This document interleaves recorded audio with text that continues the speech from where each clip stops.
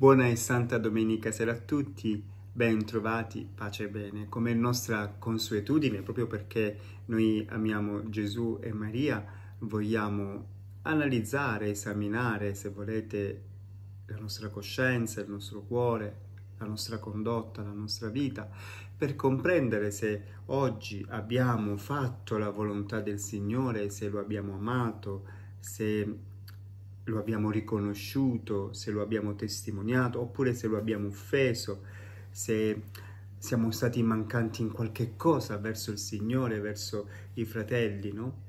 Per esempio, vorrei fare una sola domanda. Oggi che è domenica, giorno del Signore, abbiamo santificato la domenica, l'Eucarestia domenicale, la messa domenicale, al di là che siete andati di sabato, di domenica mattina, di domenica pomeriggio, ma ci può essere un cristiano che non va alla messa la domenica? E che cristiano è?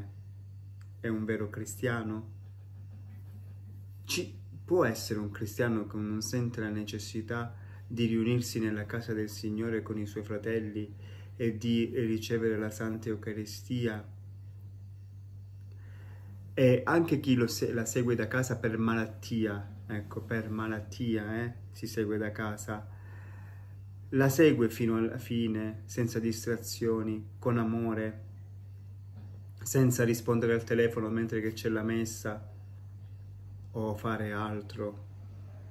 Ecco allora, continuiamo questo esercizio che abbiamo iniziato ieri nel giorno dell'esaltazione della croce con queste parole del vescovo Sant'Antonio Maria Claret 15 minuti con Gesù e no è Gesù questo dialogo che parla a noi e arriviamo, all'altra domanda.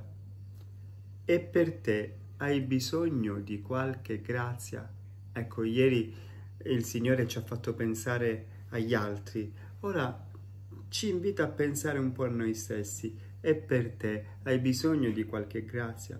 Se vuoi, fammi una lista delle tue necessità e vieni a leggerle in mia presenza. Ricorda il caso del mio servo Salomone, mi chiese la saggezza e gli fu concessa in abbondanza.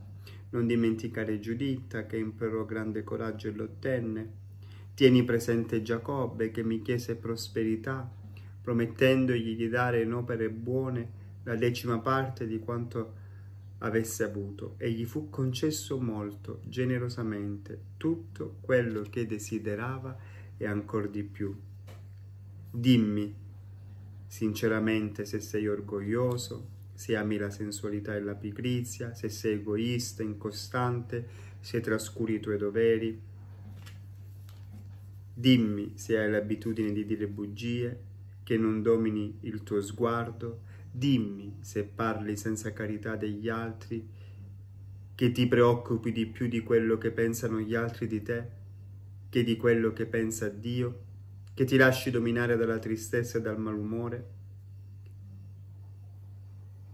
e io ti ricorderò i miei insegnamenti che porteranno una trasformazione totale nella tua vita. Avete qualche necessità? Volete mettere dinanzi al Signore adesso qualcosa? Vi lascio in silenzio per pregare.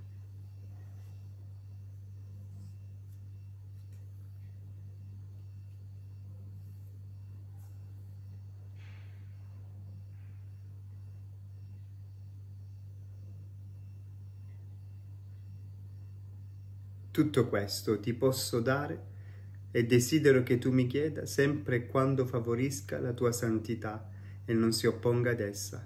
Padre, non ciò che io voglio, ma ciò che tu vuoi. Nel nome del Padre, del Figlio e dello Spirito Santo. Amen. Ave Maria, piena di grazia, il Signore è con te. Tu sei benedetta fra le donne e benedetto è il frutto del tuo seno Gesù. Santa Maria, Madre di Dio, prega per noi peccatori, adesso e nell'ora della nostra morte. Amen. Il Signore sia con voi, vi benedica Dio Onnipotente, Padre e Figlio e Spirito Santo. Amen. Io vi auguro una notte serena e un riposo tranquillo, vi abbraccio fraternamente vi ricordo che dopo mezzanotte potete trovare la novena il terzo giorno a Padre Pio da Pietrelcina. Ci vediamo domani mattina per il buongiorno e domani abbiamo la coroncina alle 15 e il Santo Rosario alle 17.20, sempre in diretta. Vorrei dirvi anche che il 20 settembre sarò a Giffoni Vallepiana al santuario della Santa Spina per la messa e un momento di testimonianza. Santa notte a tutti e ricordatevi che vi voglio bene.